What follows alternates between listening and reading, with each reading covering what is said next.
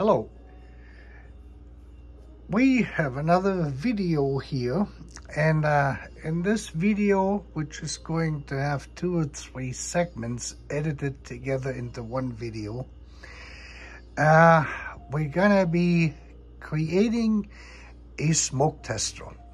One of my viewers, George, and I don't know where he is located, we have been kind of communicating here through the comment section forwards and backwards. He suggested I should create or build one of these smoke testers. He built it for his car. He has a 560 SL, I believe. No, 380 SL. And he had problems with the boot. He had put in a new boot or the boot he had was cracked and was leaking. And uh, then he got a new one. He put it in, but it wasn't sealing completely. So he had to do some, uh, you know, fixing there. And he also watches Monkey Wrench Mike. And as we know, Monkey Wrench Mike built a smoke, uh, smoke tester um, of his own. And uh, that was somewhat successful. So George did the same thing, but I like George's actually better. Nothing against Monkey Wrench Mike, but uh, George did a pretty good job with the way he built it, and he got a pretty good uh, smoke output there. And um, so George suggested to me that I should check my car. You know, I got now over 7,000 miles on it. Since I put everything together, the boot has now 7,000 miles on it. The new fuel distributor, all the parts I put in there, new, all of that vacuum related stuff. And then of course, you know about these two tubes I had replaced now for the third time with the, uh, what was the company name? Trustech, Tritech, Trucktec, with the Trucktec parts. And I took the Mercedes-Benz ones out.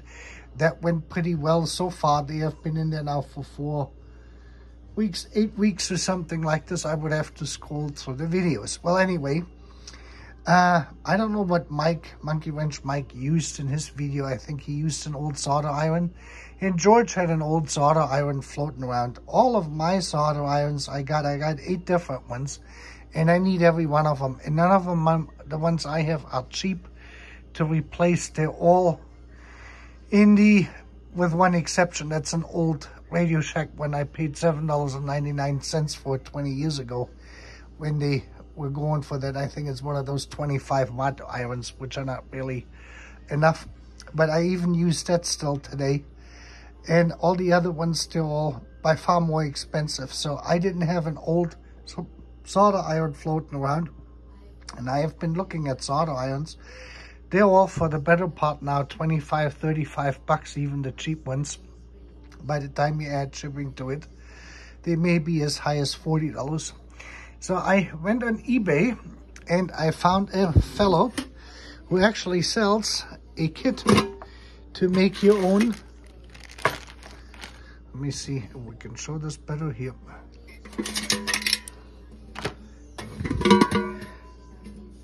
Your own smoke uh, tester. So he sends this out in that little, what is it, a one gallon paint bucket here. Comes with a lid. And the best part is the heat element. Is he's using a resistive heat wire here. It draws about 6 amps. I tried that already at 12 volts. And it comes with the screws as you can see and it is basically mounted into the and the wick. It got a real wick to it. And it is mounted so that the wick touches the bottom of the container where you pour the baby oil in. And then you fill it up if I understand that correctly to about here about three quarters up of the leg about to here and this will create a massive and then the wick of course is gonna absorb the baby oil and that will feed itself through. And then on top of it, he actually sends a reducer out, which uh, reduces the flow rate to 0.6 cubic meter per hour. And that was, um, I think that was, was it now in liters? Four liters per minute or something like this. So what I'm going to do is I'm going to add a little rotating um, valve to it with a handle on it, just 90 degrees, so I can open and close it. Maybe 180 degrees or 90 degrees, I don't know yet. And he has the, and this way I can turn it off and I can turn it on. And he has all the mounting hardware, as you can see here, oops. Everything comes with it. So he has already the reducer which goes on one of these things here if I would figure can figure this out and how he actually does that. I guess you have to uh, use the other connector. At least this is not exactly working here. Or this is for the output. This is the output. This is where your half inch or quarter inch hose clear close attaches to. And you have a seal sealing stuff here. And this all comes together so you can screw this. This would be the output. This here is basically for the input side of this you probably will have to use one of these two nuts. This nut is probably gonna fit on this one here. Yep. So you have to put the coupler in here to hook your air hose up. And the airflow is in this direction. You can see the arrow so this goes with this and this goes with this. Here now I got it. Sorry I haven't really looked at it and it didn't come with a manual but uh, you really shouldn't need a manual. Yeah this here is pretty much tight so this goes onto this here and uh, you really have to work this in yep and this will be the output side so this is basically you drill a hole in the can, you put this in here on top probably somewhere. You drill a hole and you screw this in place and it will seal this. So this is the output, this is the input. So what I'm gonna do is, I'm gonna take that reducer out and I'm gonna put a coupler on here with the valve because this way I can better regulate the reduced lowered air pressure so I can come in with 100 psi 120 psi whatever we have in the shop and then actually can reduce this and turn it on and off rather than plugging and unplugging the unit. And then of course here we have our screws, I guess, for the, yeah, this is all related to the virus here. So this is basically assembled. You drill a hole, a fairly large hole, and then you put these grommets in here and you put your screw through. This way it will seal it. And then you screw on the outside he supplies a 12 volt battery cable where you hook this up to your battery with a fuse pack in it. Let me just see what the fuse is. That's a 10M fuse. And uh, this way the whole thing is secured. This entire pack, as you see it here, is $44. Um, plus I think $11 or $14 in shipping. And this was about the same if I would have to buy a solder iron if I had to buy a solder iron, I would still have to buy this stuff here. This here is really nice because this way you can easier regulate the pressure going in. Uh, George just used the air nozzle on his hose shop, on his shop pressure, and uh, he had a hose coming out here. He has two of those, one going in and one going out, and he adjusts the pressure going into this whole system this way.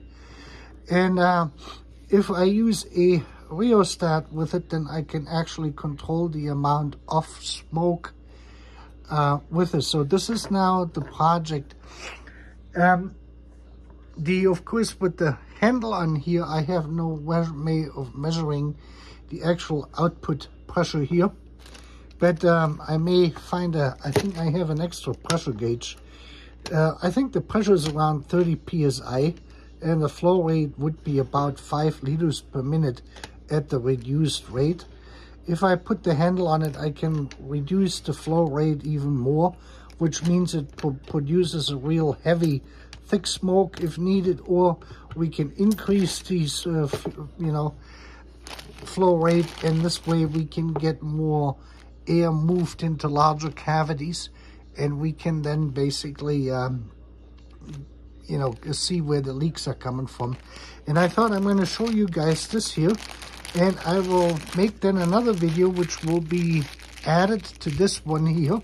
And then we have these sequences going through over the next few days or weeks. Today is Saturday, uh, September 10th, where I'm making this video. And um, that's the first part of it. And the next part will be the assembly of this once I get to Ursulin's and I get my missing hardware for this. That means that little hand valve uh, and, um, you know, the couplings what I need for it. Okay, we see you in the next segment. So I was able to get the additional goodies. I got my shutter valve here, then a reducer and a coupler, the uh, quarter inch male nipple to get into the pressure hose. This came with the set. We had that already, so we have the bob connection here. 3 eighths hose, I got 10 feet of it. And uh, our heater with the mounting uh, hardware and the, the electrical connection and our bucket which came already with us and two bottles of baby oil at the dollar store 3.99 for 20 fluid ounces. That was the cheapest deal i could get. These parts here these four parts and the hose are $34 and 81 cents. That's what that came out to. $44 for this set here. With this here, with this, this, this, and this and this, and this here 34. So we're looking around 80 bucks with this 100 by the time it's all said and done to build this. And um, I got the drill here. So we're going to drill some holes into this bucket, get this all situated. Then we're going to take a look at this. We're going to do a test run I have to see if I have a 12 volt battery here. Otherwise, I have to hook it up to the car. Okay. Okay, so here we got it. We got the VIC and the heat element placed in here. They go all the way down to the bottom of it.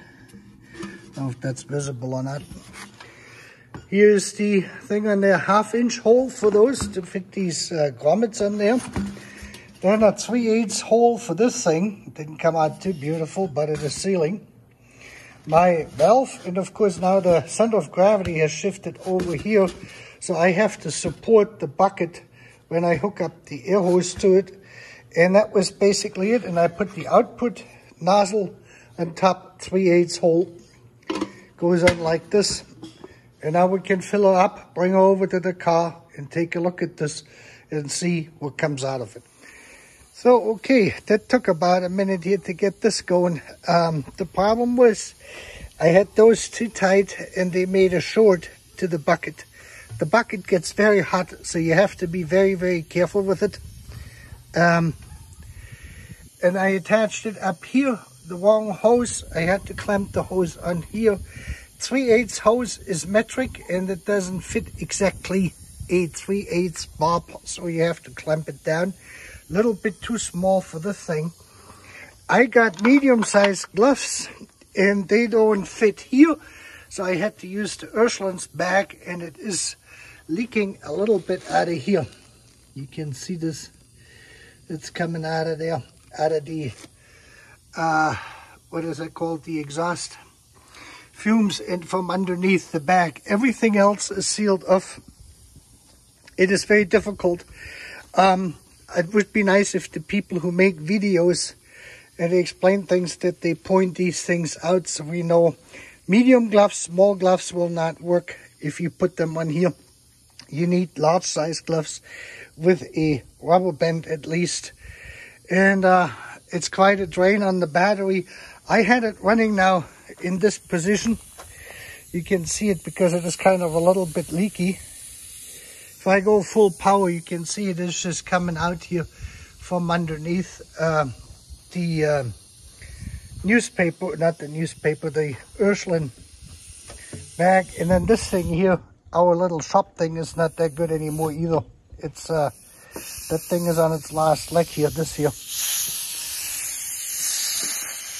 I have been fighting this here all along. See this? That needs a new one. And like I said, as this bucket gets hot, so you have to be careful it's not the best setup. It sure is not close to what you have here. And uh, but it works with this little release. You can nicely control the entire flow and the reducer is very helpful in this. So now you can see this, where this is coming out here. It's all coming here from the underneath the um, It's coming out and it's coming out from underneath the, um, if you go full bore, because this thing is not sealed here, this will come out of the throttle linkage too if you go full bore. But the usual culprits, they're all sealed. So this is kind of what that looks like. You can see I got quite some pressure in here. This is actually way too much pressure for this test. So if we're gonna reduce this, you can see how long the pressure actually persists in it. See now it is coming down. Let me just go up a little bit.